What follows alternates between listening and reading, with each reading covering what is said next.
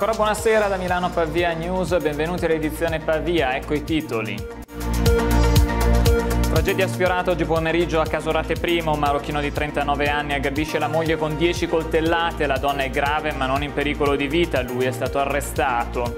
Fine settimana di controlli nei locali della Movida in Po, un bar chiuso per assembramento, un altro per mancato rispetto degli orari, multate decine di avventori senza mascherina. Partita l'operazione di potenziamento per l'effettuazione dei tamponi a Policlinico San Matteo, fino a 72 esami al giorno per gli adulti, ambulatorio pediatrico aperto anche alla domenica. Forti reazioni dopo l'annuncio del ministro De Micheli che ha detto no alla superstrada Vigevano Malpensa, protestano i sindaci del sì, mentre i 5 Stelle pensano a un nuovo progetto. Sta cambiando il volto del piccolo centro di Spessapò. Dopo la ristrutturazione del municipio si passa alla riqualificazione dell'antica cascina, ospiterà una sala polifunzionale e un museo contadino.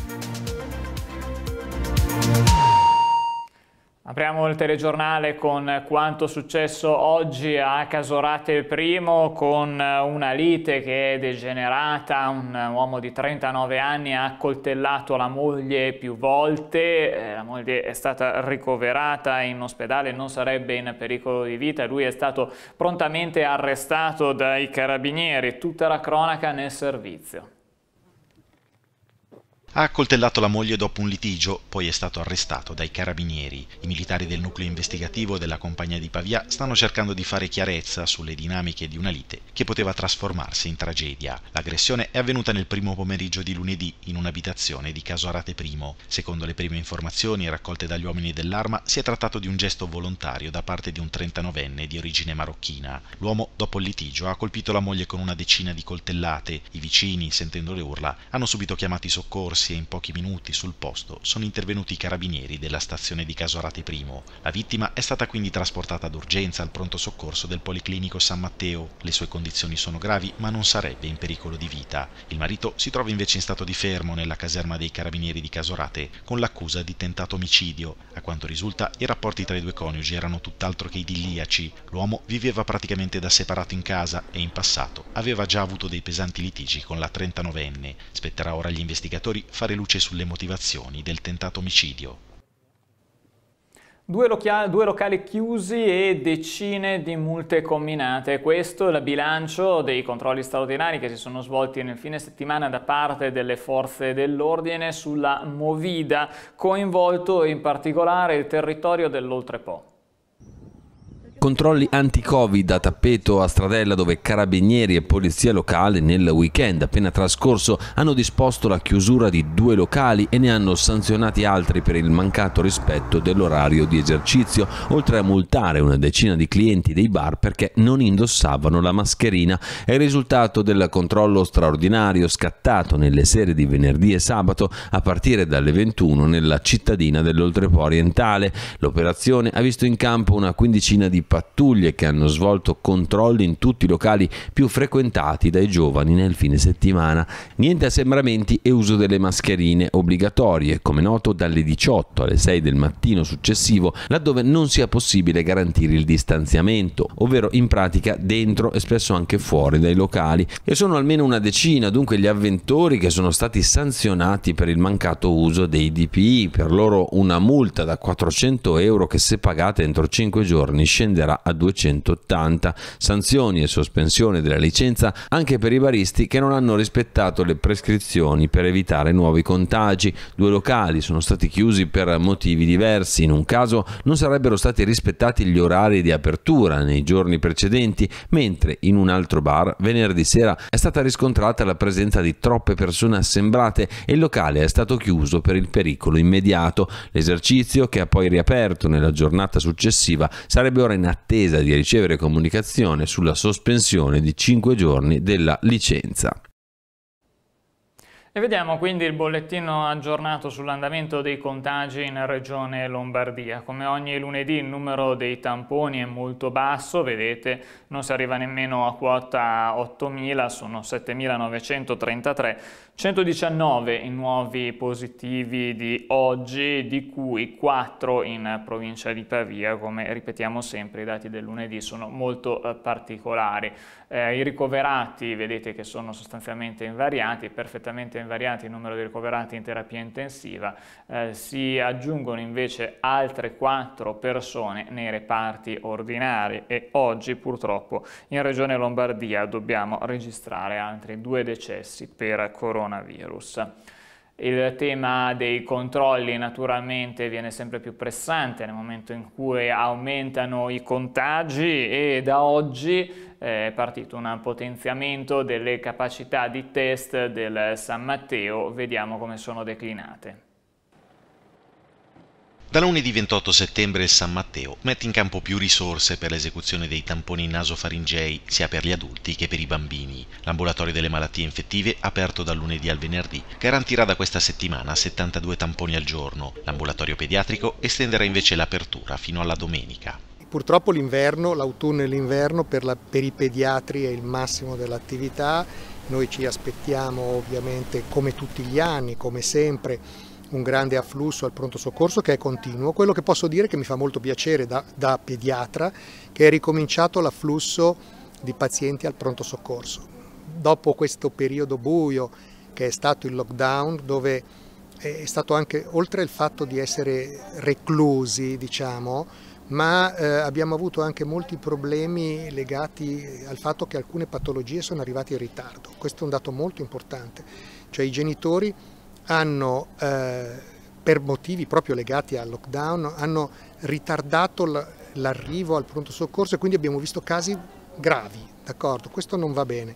Il nostro pronto soccorso è un punto d'appoggio per tutte le famiglie, per tutti i pediatri di famiglia, per tutti i medici di famiglia, noi siamo sempre aperti, abbiamo potenziato il pronto soccorso proprio in questa occasione. Per accedere agli ambulatori è necessario rivolgersi prima al proprio medico di base o al pediatra di libera scelta che provvederanno al rilascio dell'impegnativa o a fornire le indicazioni necessarie per la compilazione dell'autocertificazione. Proprio in pediatria è ora disponibile anche un nuovo medico che si occuperà della gestione dei tamponi Covid. Ho avuto l'autorizzazione dalla nostra direzione generale di una posizione di un medico e di questo sono molto orgogliosa e ringrazio pubblicamente la nostra amministrazione che è un'amministrazione straordinaria, io devo dire veramente straordinaria che vede dal massimo del supporto. Abbiamo avuto la possibilità di un nuovo medico, un nuovo medico che si dedica, un nuovo medico strutturato che si dedicherà a questo. Quindi forniamo un qualcosa in più che forniamo a tutta la popolazione, un supporto per i nostri pediatri, per i medici di famiglia. Avremo un medico dedicato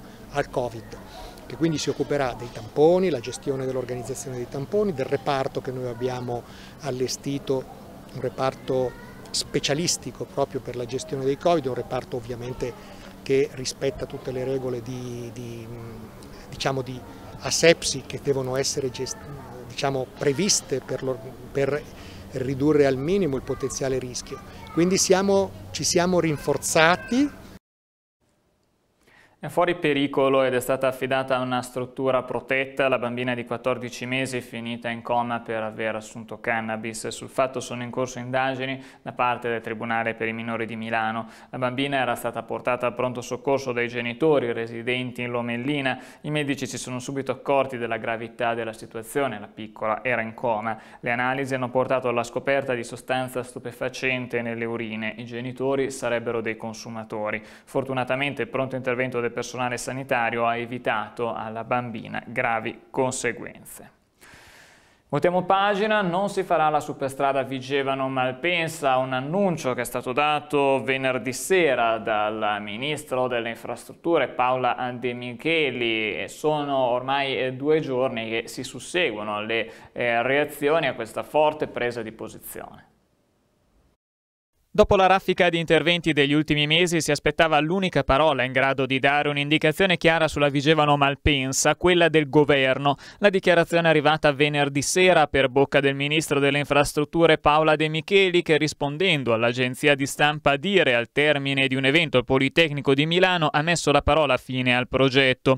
Non si farà, ha detto il ministro, parlando di un nuovo progetto da preparare entro l'anno. Dichiarazioni che hanno originato un vero e proprio terremoto sul territorio territorio. A cantare vittoria innanzitutto il Movimento 5 Stelle. Il consigliere regionale Massimo De Rosa parla di una vittoria dei cittadini contro le irrealizzabili promesse del centrodestra. Da Forza Italia Ruggero Invernizzi definisce inaccettabile la decisione del governo, aggiungendo che solo chi non conosce il territorio e le sue esigenze può gettare alle ortiche anni di lavoro con una tale disinvoltura.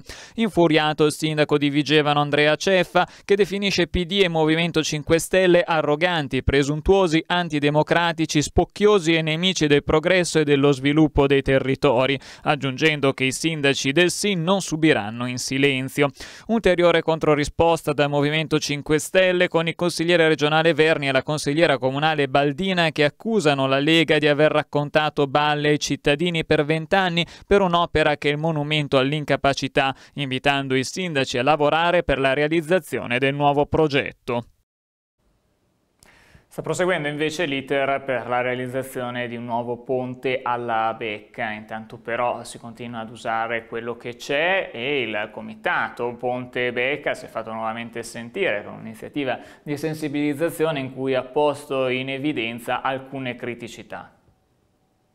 Traffico, ciclisti, autovelox, lavori e illuminazione. Sono alcuni dei punti critici del Ponte della Becca tra i comuni di Mezzanino e Linarolo, questioni che sono state messe nero su bianco dal Comitato per il Ponte che, come già accaduto in passato, si è ritrovato per una piccola marcia pacifica lungo il fiume, un modo per sensibilizzare le autorità competenti sui problemi che ancora affliggono questa struttura e anche riguardo ai ritardi per far partire la costruzione di quella nuova Secondo il comitato, due sono oggi gli aspetti particolarmente critici, l'illuminazione del ponte e il passaggio dei ciclisti, particolarmente pericoloso visti i lavori in corso e il restringimento della carreggiata. È il secondo esperimento insieme al comune di Mezzanino, primo insieme al gruppo eh, Le Ciaccole eh, di Roncaro ed è stata un'esperienza molto particolare. Che cosa è successo? Che all'inizio di questa camminata siamo passati di fianco al ponte, abbiamo informato gli iscritti e poi attraverso i social la popolazione delle problematiche che conosciamo del ponte. Abbiamo fatto un'email PEC alla provincia di Pavia dove ci sono sei punti tra cui la viabilità e l'illuminazione, facendo osservazioni e proposte. Questa è un po' la storia di ieri e che sicuramente l'anno prossimo si ripeterà, l'appuntamento più importante in assoluto annuale che dovrebbe essere confermato per il 5 dicembre 2020. La viabilità invece cittadina di Pavia sono previsti interventi, soprattutto è stato fatto una, uno stanziamento importante per sistemare eh, l'acciottolato non soltanto dove è rovinato ma anche dove erano stati fatti dei lavori e si erano messi dei rattoppi in bitume che avevano causato tante polemiche. Poco meno di 800.000 euro per completare i lavori di riqualificazione delle strade del capoluogo.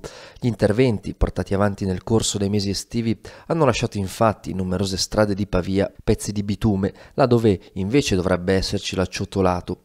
Una soluzione momentanea aveva specificato nelle scorse settimane l'assessore ai lavori pubblici Antonio Bobbio Palavicini, a fronte delle proteste scoppiate sui social network. Il progetto esecutivo è stato approvato recentemente dal dirigente del settore ed ora potrà essere messo in campo. 770.000 euro e tre mesi di lavoro per andare a sanare un problema che non è solo di natura estetica ma anche di sicurezza stradale. Senza la necessaria manutenzione spesso i sassi vengono sollevati dalle automobili in transito e in alcuni casi letteralmente sparati, creando pericoli per i pedoni e le vetrine di bar e negozi. In totale l'amministrazione del Mezza Barba ha stanziato 1.200.000 euro per sistemare le strade del centro storico e il primo lotto toccherà rifacimento di acciottolato, graniti e il porfido.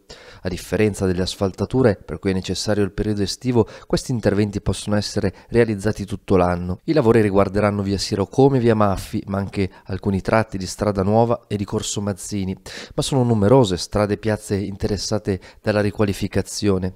Le lavorazioni non riguarderanno esclusivamente il rifacimento dell'acciottolato, ma anche la sistemazione dei tratti coperti dalle lastre in porfido. Comincerà domani il processo d'appello per la morte in Ucraina del fotoreporter pavese Andy Rocchelli. Unico imputato rimane Vitaly Markiev che in primo grado era stato condannato a 24 anni.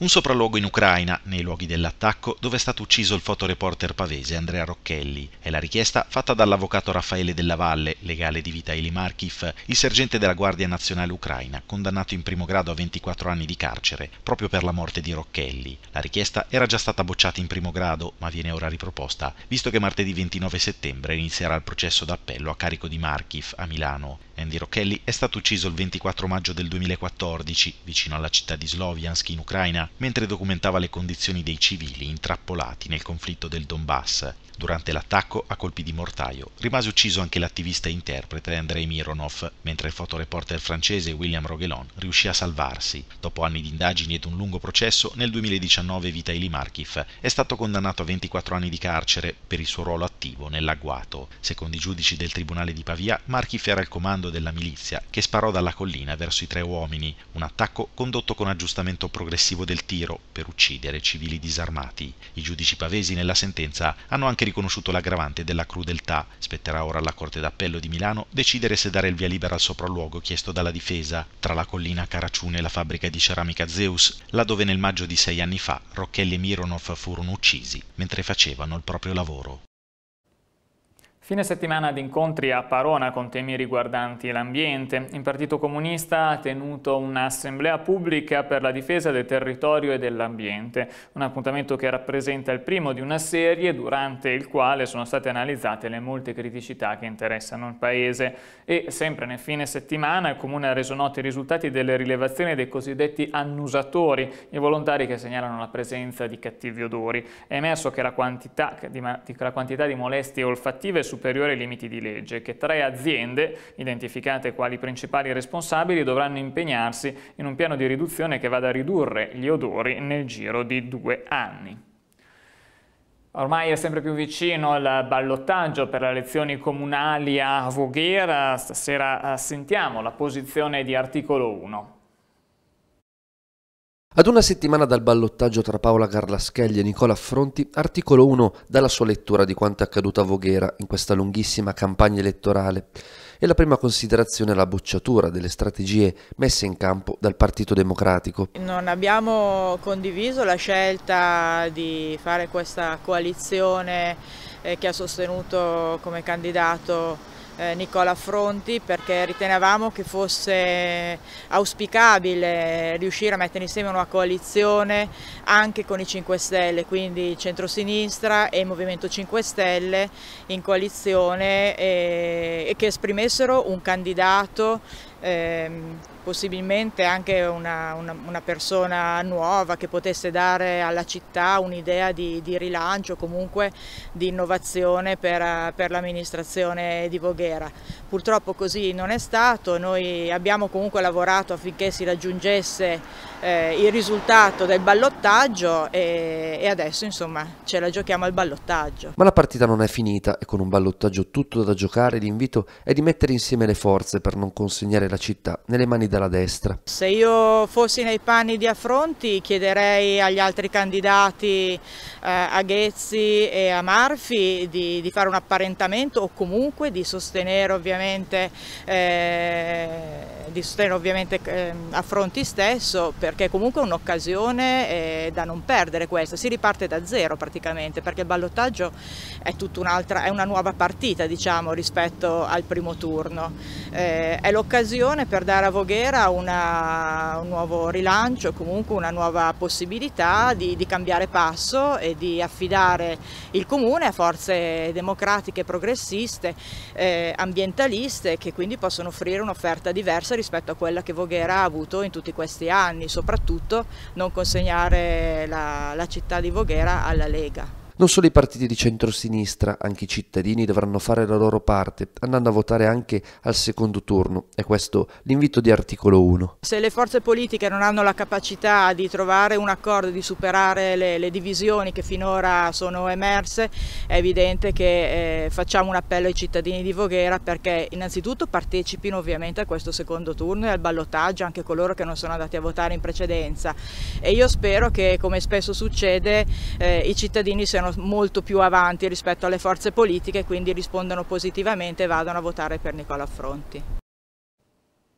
Sono entrati in cinque in un grande magazzino cinese di Via Industria a Vigevano e hanno fatto razzia di capi di abbigliamento e altra merce danneggiando i dispositivi antitaccheggio. Gli addetti del negozio li hanno notati, hanno cercato di fermarli, ma i ladri per tutta risposta hanno aggredito i commessi a calci e pugni riuscendo così a guadagnare l'uscita. Il fatto è avvenuto nel tardo pomeriggio di sabato. Gli agenti del commissariato hanno identificato una giovane di 33 anni con numerosi precedenti che è stata denunciata per rapina e lesioni personali. Individuata anche la vettura utilizzata per la fuga. Sono in corso le indagini per risalire agli altri quattro autori della rapina.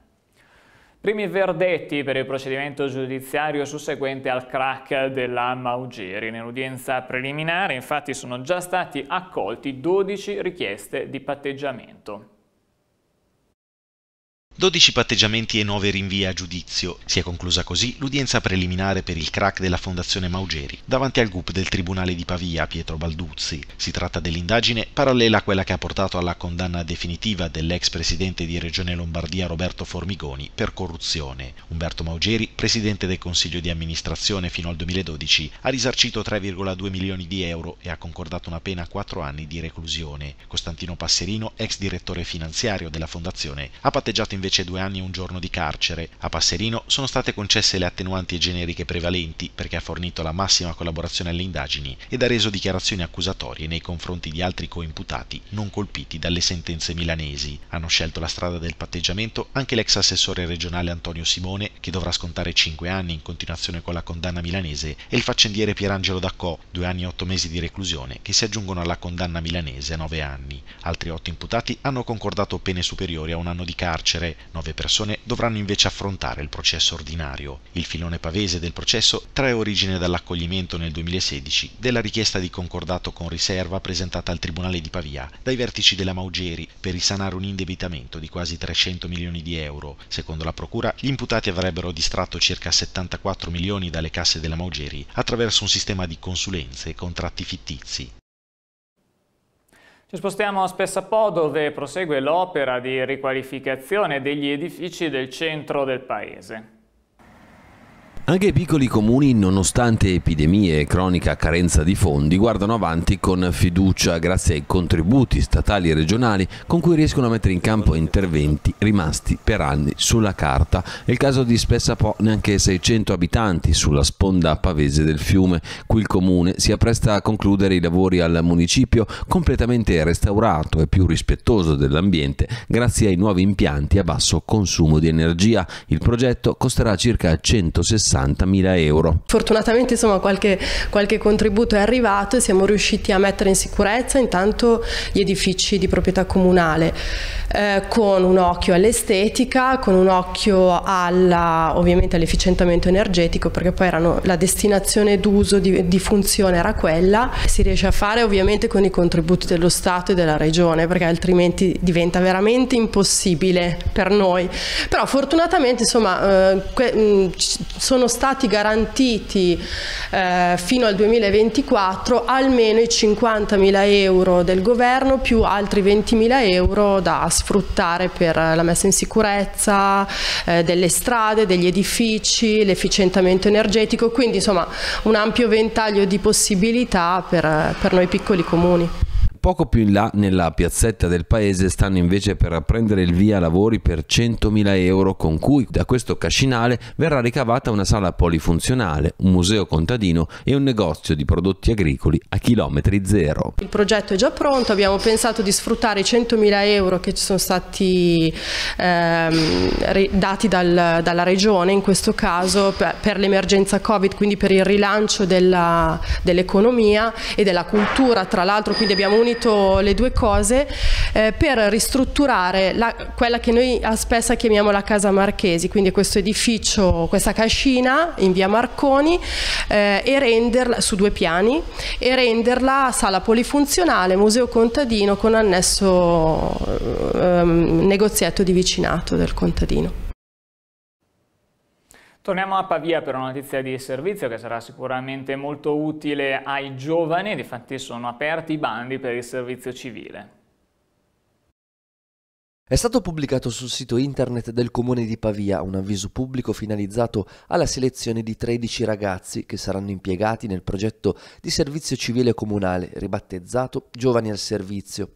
L'avviso è stato pubblicato dal settore di servizi sociali, politiche abitative e sanità di Palazzo Mezzabarba, grazie anche alla collaborazione del terzo settore e del Consorzio Sociale Pavese. Il periodo del progetto Giovani al Servizio è compreso tra il 24 ottobre 2020 e il 23 ottobre 2021 e potranno partecipare alla selezione tutti i ragazzi e le ragazze che alla data di presentazione della domanda abbiano compiuto i 18 anni e non superato il trentesimo anno di età, sia residenti nel comune di Pavia sia negli 11 comuni che aderiscono al Consorzio Sociale Pavese.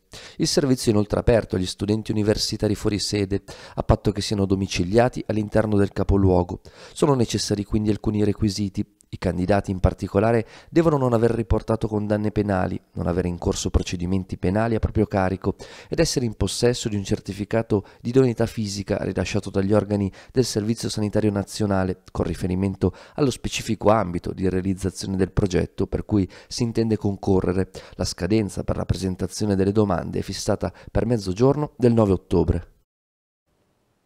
E vi ricordo ancora che con il primo di ottobre si completerà il processo di rinnovamento delle frequenze della nostra emittente. Invito quindi tutti i telespettatori che ancora non l'avessero fatto a controllare eh, se eh, sono già sintonizzati con, la, con le nuove frequenze. Un'operazione molto semplice, eh, basta sintonizzarsi normalmente sul nostro canale che è e rimarrà sempre l'89, questo è importante specificarlo, se eh, andando appunto sul nostro canale l'89 eh, viene fuori la scritta Milano Pavia TV vuol dire che siete già sulle nuove frequenze e non dovrete fare nulla. Se invece sintonizzandovi sul nostro canale l'89 compare la scritta Telepavia provvisorio vuol, dite, vuol dire che siete su una vecchia frequenza frequenza che verrà disattivata fra pochi giorni, quindi sarà necessario fare la risintonizzazione del televisore e in automaticamente verrete ricollocati sulle nuove frequenze. E con questo è tutto, arrivederci e buona serata.